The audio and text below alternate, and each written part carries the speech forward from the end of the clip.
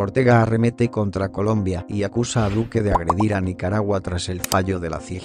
Managua exige a Bogotá el cumplimiento de la sentencia y dice que el ejército continuará haciendo patrullajes en esos territorios, 75.000 kilómetros que Nicaragua logró recuperar. Daniel Ortega acusó este jueves a su homólogo colombiano. Antes de continuar con este video, los invitamos a dejarnos tu like, comenta y comparte, ya que así este video podrá llegar a más personas. Y por nada, no se olviden de suscribirse y si ya lo hicieron continuemos. Iván Duque, de haber insultado y agredido a Nicaragua al no querer reconocer, según dijo, el nuevo fallo de la Corte Internacional de Justicia, CIG, sobre los derechos de Nicaragua en el Mar Caribe. Mi gobierno hasta el próximo 7 de agosto, continuará en la tarea superior de evitar que Nicaragua limite o pretenda limitar los derechos de Colombia. Asimismo, y de conformidad con el derecho internacional, procuraremos la protección del medio ambiente marino y la continuidad de la interdicción del tráfico ilícito de estupefacientes y la lucha contra los delitos transnacionales en el área. Nuestra obligación es defender la soberanía de Colombia sobre el archipiélago histórico e indivisible de San Andrés, Providencia, Santa Catalina y Los Cayos, así como defender de manera irrestricta y permanente a su población. También lo es defender los más altos intereses de Colombia en el Mar Caribe. Frente a esa responsabilidad no hay, no puede haber titubeos ni ambigüedades. La decisión de mi gobierno es cumplir con esa responsabilidad a cabalidad, con determinación y patriotismo. No permitiremos que se limite ningún derecho de la comunidad raizal. En los próximos días se expedirán las normas que refuercen esos principios. La reacción de Duque se dio luego de conocer el nuevo fallo de la Corte de la Haya, determinó que su país ha violado la soberanía y la jurisdicción de Nicaragua en su propia zona económica exclusiva al autorizar actividades de pesca en aguas nicaragüenses, y le ordenó cesar de forma inmediata esa conducta, Ortega, que no aparecía en público desde el 24 de marzo, al referirse a la sentencia de la CIG, dijo que Colombia debe cumplirla y acto seguido volvió a acusar al país suramericano de ser un narcoestado diciendo que ese gobierno tiene sus bases en el narcotráfico. El mayor productor de la droga acusó de asesinar a miles de colombianos y señaló a Estados Unidos y a Europa de protegerlo, porque supuestamente los abastece de drogas por ser los principales consumidores. Los gobernantes norteamericanos y los europeos de esa manera están protegiendo al que lleva la droga que se comercializa y se consume en los Estados Unidos y en Europa. Son los grandes consumidores. Flanqueado por Rosario Murillo, el canciller Denis Moncada, el presidente de la Asamblea Nacional, Gustavo Porras, el jefe del ejército, Julio César Avilés, y su consuegro y director de la policía Francisco Díaz, todos sancionados por la Unión Europea y Estados Unidos, Ortega aseguró que tanto el ejército como la policía han estado patrullando las aguas del Mar Caribe limítrofes con Colombia según el fallo de la Corte Internacional y que lo seguirán haciendo en los 75.000 kilómetros cuadrados que Nicaragua logró recuperar. El ejército va a continuar haciendo sus labores de patrullaje en esos territorios. 75 mil kilómetros. ¿Qué? Nicaragua. Logró recuperar.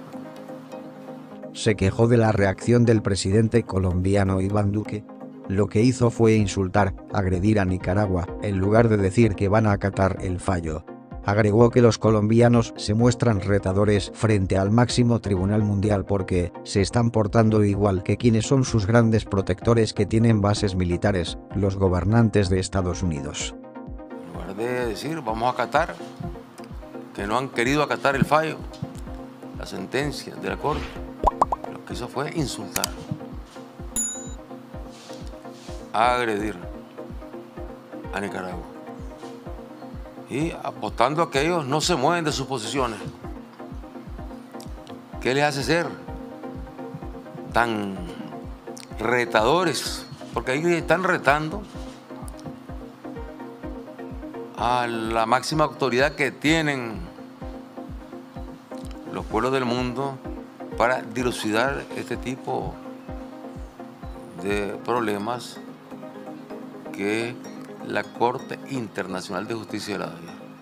¿Quiénes son los gobernantes de Estados Unidos? Los fabricantes de armas. Los demócratas y republicanos responden a los fabricantes de armas, acusó. El presidente colombiano aseguró este jueves, tras conocer la sentencia de la CIG, que su gobierno no permitirá que Nicaragua limite los derechos de su país en el Mar Caribe, ni los de la comunidad raizal del archipiélago de San Andrés y Providencia.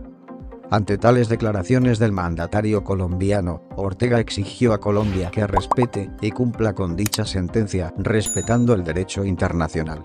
Y le demandamos, le exigimos, a Colombia, que acaten el fallo, dijo para luego asegurar que se trata de una sentencia clara, irrebatible, con la potencia de la justicia, una sentencia demoledora.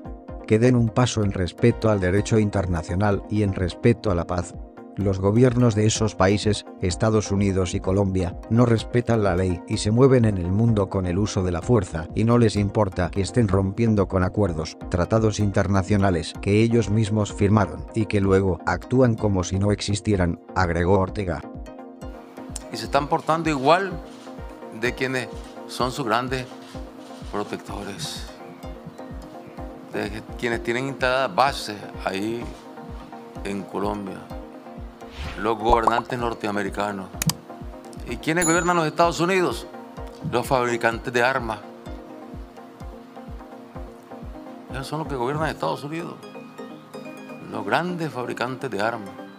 Ahí, esos que llaman Partido Demócrata o Partido Republicano, no son más que manifestaciones políticas que al final de cuentas, cuando ya están en el gobierno, responden a los fabricantes de armas, mientras Colombia mueve sus embarcaciones de guerra, sus naves de guerra,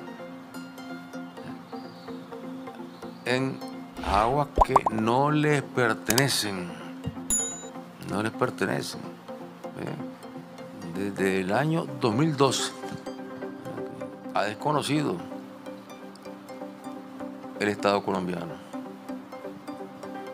Nosotros esperamos que las palabras, las expresiones del presidente de Colombia se queden en palabras y no pasen a tratar de violentar lo que es un derecho que ha sido reconocido desde el año 2012. Ha sido reconocido por la Corte Internacional de Justicia. Que ha hablado hasta el momento el gobierno de Colombia, pues dudamos totalmente que estén dispuestos a acatar el fallo. Nosotros sí, en nombre de nuestro pueblo, les demandamos, les exigimos que acaten el fallo, que eso significa que estén rompiendo con acuerdos, con tratados que están consignados en los organismos internacionales que ellos mismos firmaron, pero que luego pues, como que no existieran.